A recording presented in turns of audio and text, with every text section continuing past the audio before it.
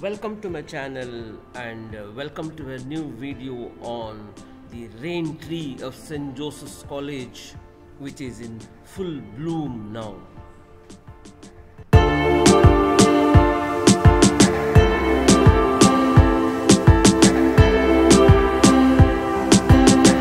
This is rain tree also called monkey pod tree. The botanical name of this tree is Samanea saman. Welcome to the video on Samanea saman or rain tree or also called monkey pod tree. It belongs to the family Fabaceae, subfamily Caesalpinidae. It is native to Central and South America. Rain tree is a wide canopied tree with a large symmetrical umbrella shaped crown. It usually reaches a height of up to 100 feet. Sometimes it can also reach a height of 200 feet. The leaves fold and show sleeping moment in the rainy weather, hence the name rain tree.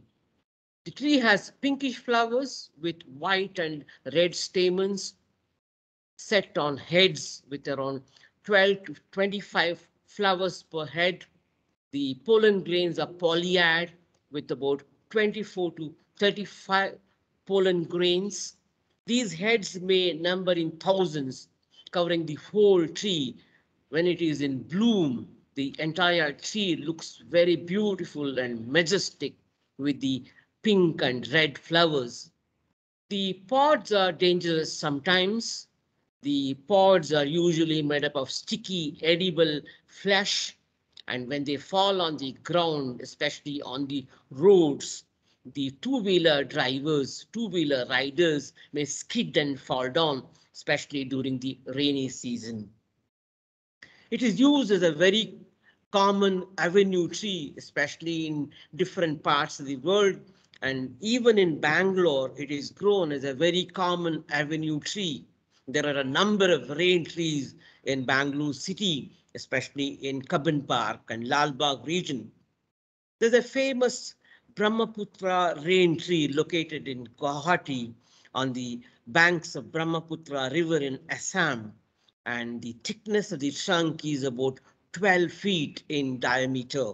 The large branches of the tree sometimes break and fall off during rainy season. This can be hazardous if they fall on moving vehicles. It can cause accidents because it is grown uh, commonly as an avenue tree in cities. Rain tree is commonly known for carbon sequestering. It can capture a huge amount of carbon dioxide. A mature tree can absorb up to 30 tons of carbon dioxide annually. Rain tree is also medicinal. In folk medicine, it is used in the treatment of headache, cold, diarrhea, stomachache, and intestinal ailments and also it is used against sore throat. It's also used in the treatment of stomach cancer. Thank you very much for watching this video. Please like, share and subscribe. We'll meet again in the next video with some other topic. Thank you very much.